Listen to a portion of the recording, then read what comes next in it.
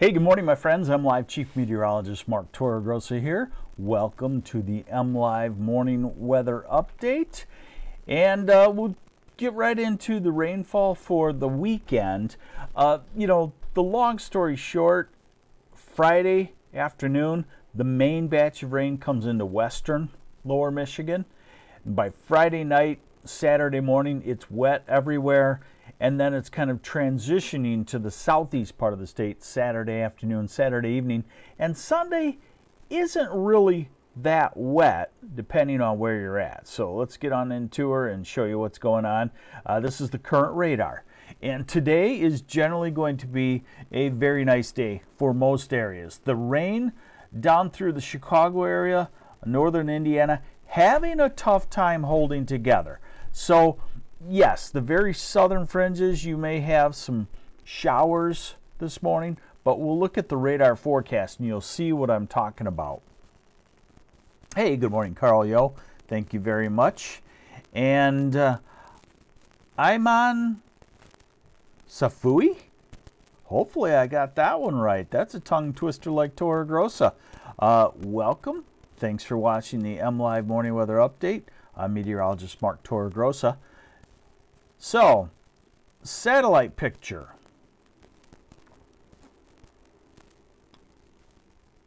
Showing the storm system out to the west. See the spinning curl out there in Colorado, in uh, Nebraska?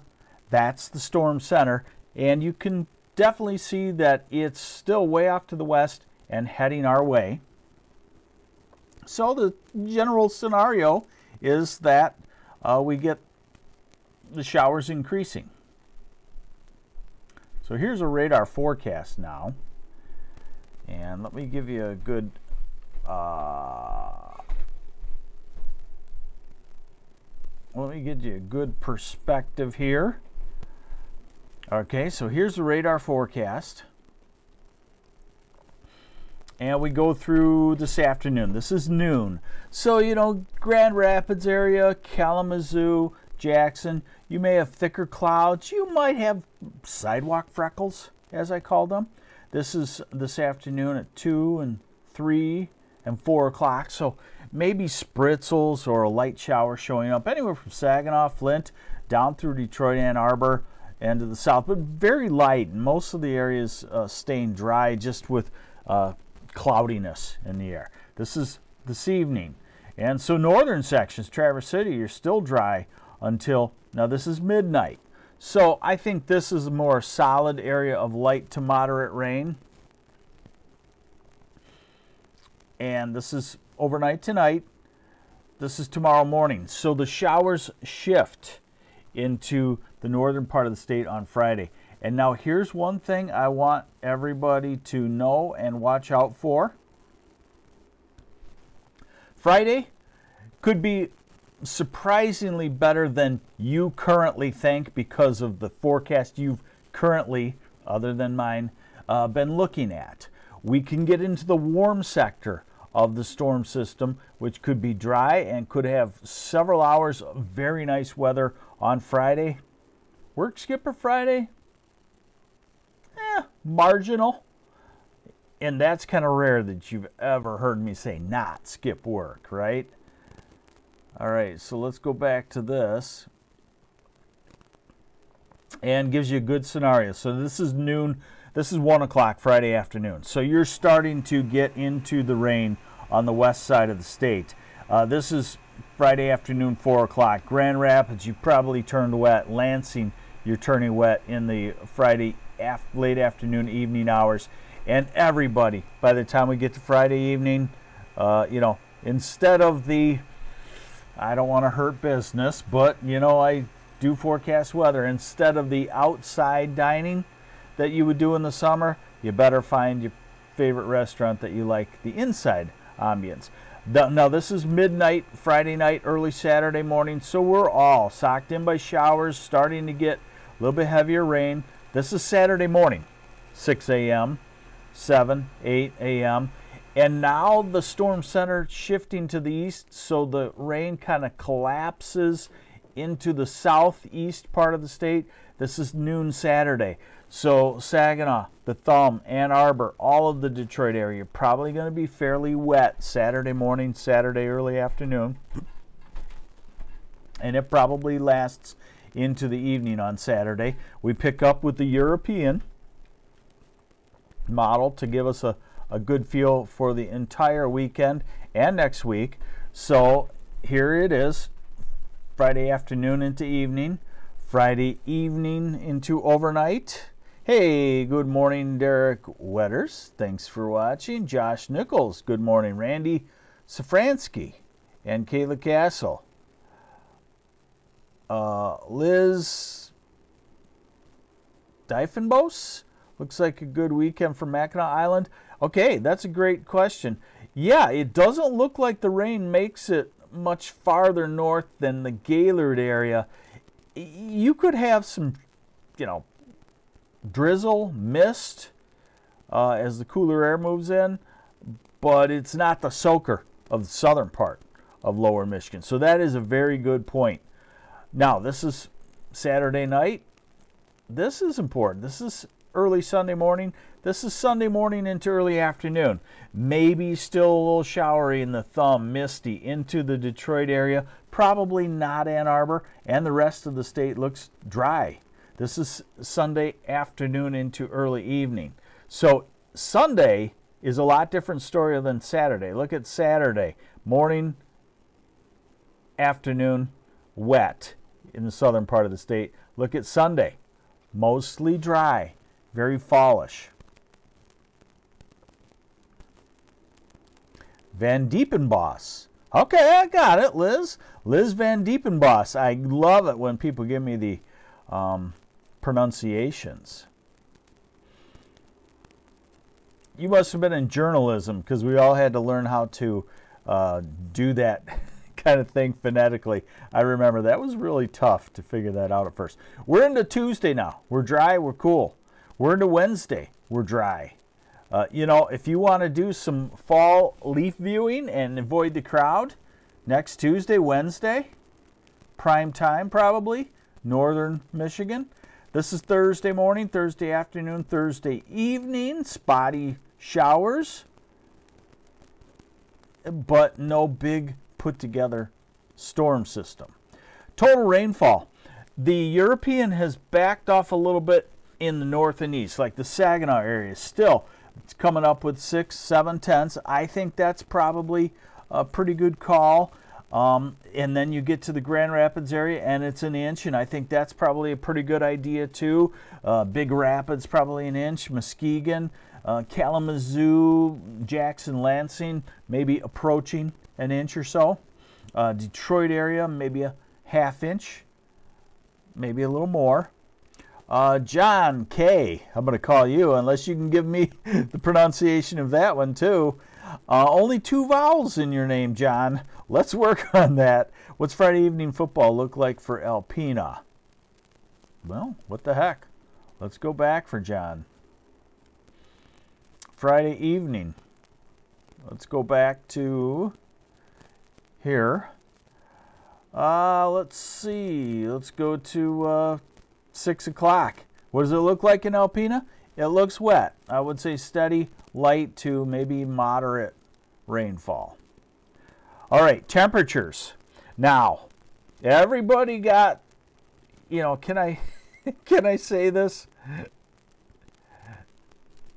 Can I say this? Everybody got their panties in a bunch. When I wrote a post in like September 24th or so that we're going to start October really warm. And we did. Remember, we had six days in the 80s. Some days were almost 30 degrees above normal. And then I wrote a post that there's some cooler air sneaking, and everybody just went crazy. What happened to the entirely warm October? I said, relax.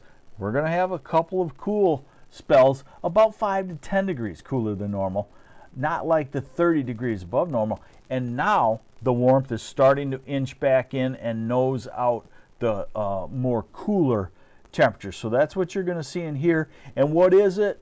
It's just the 800 pound gorilla. Is that the word? Global warming. um, you know, taking over, and we see that in the fall. So it erodes away what the models think will be uh, cooler temperatures. So here we go. Today, not bad, around 60 degrees. Tomorrow, of course, clouds and showers, cooler temperatures. Hey, you're welcome, John. Alpena, beautiful area. Beautiful, beautiful area. Un, undiscovered still to this day. Uh, let's see. So Saturday, we're cool in the 50s. Sunday in the low 50s. Monday in the 50s. Tuesday in the 50s. Then we start to work off the cool. Jump back to the low 60s. And then next Thursday, low 60s, maybe some mid 60s. And next Friday, in the 60s. And 10 days out, Saturday, in the 60s. And look what's building to the west, low 60s. Hey, Brett Machino, if yeah, that's a that is a good that is a very valid point. Uh, point well taken. Uh, okay, so low temperatures, no frost anywhere in sight. This was this morning. Maybe there was a light frost. Then we're in the 40s. We have clouds a lot for the next several days. So 40s, uh, 40s, Monday in the 40s, Tuesday in the 40s, Wednesday in the 40s, Thursday in the 40s in the morning, Friday uh, maybe in the low 50s, Saturday in the 40s and 50s. Huh. People say, uh, Rick says I keep cutting out. I don't know if that's true or not. It could be my internet connection. It could be yours. All right, so now here's the extended stuff that you don't get anywhere else. And what I'm going to talk to you about is the extended. So we're going to first look at the mid levels of the atmosphere and if it's compressed and cooler than normal or expanded and warmer than normal. This is how we give you a general sense of what's coming up into the future. And I would say the general story for Michigan is that we're going to be about normal and maybe then trend to above normal, warmer than normal temperatures as we get out uh, 10 days out or so. But I have to bang on everybody's head. Remember, warmer than normal. So every two days now, we're losing one degree of heat. If you look at our average temperature over the last 30 years, so let's say it's 62 right now somewhere. Two days from now, it's 61. Two more days, four days out, it's 60. Six days out, it's 59. Eight days out, it's 58. 10 days out, it's 57. So when I talk about warmer than normal, low 60s is uh, actually a warmer than normal situation. So let's show you what I'm talking about here now. So you're looking at, now this is the guts of meteorology, and I just talked to a great group of students at the CMU meteorology program last night. I went there, I talked to them. We had a great time. In fact, if any of you are watching, thanks for inviting me. It's great to see, I would say 50 students or so that are going to be meteorologists. And uh, we talked about uh, the warming atmosphere. Um, we talked about all of this good stuff. And so just want to say hi to those. I don't those uh, students. I don't know where I was going with this. But here we go. So this is a European. This is our storm system that's coming toward us. Oh, I'm sorry. Let me back to it. Okay, so this is the mid levels of the atmosphere, and if we're warmer or cooler than normal, watch the storm. Watch this. Heat up to the north in Canada.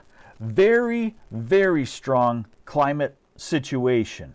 How do we have uh, extreme, continuously extreme winter when the polar regions are warming? That's our source for extreme cold, and that does not mean that I'm saying we'll never have snow or never have a cold stretch in the winter this winter. It just means that a winter starting November 15th and ending April 15th, continuous frozen ground, snow on the ground, that's going to be very hard to do uh, in most of Michigan. You know, maybe maybe uh, still from Traverse City northward, you're going to do it, but it's even there, it's going to be marginal. But where I'm going with this is look at how the heat up to the north just squashes this storm system coming through our area. See how it's a big circle out to the west in the plains, strong storm, and it just squashes it and actually shifts it down in the southeast. Those folks in Florida, uh, Kendall Bailey, do we not close our pool yet, or do we still not put our boat away yet? You could use your boat still. Uh, it'll be 60s in the afternoon.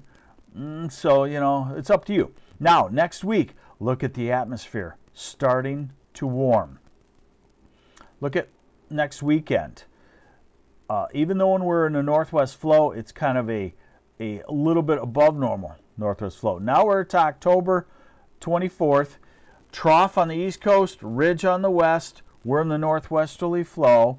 Um, that would give us, you know, about normal conditions. Now we're out 16 days and we're in a northwesterly flow. Al Gross, what about next month for hunting season? Probably warmer than normal. And one last thing. This, these are the temperatures deviations from normal on that same model. So we get our little cool spell Sunday, Monday, Tuesday.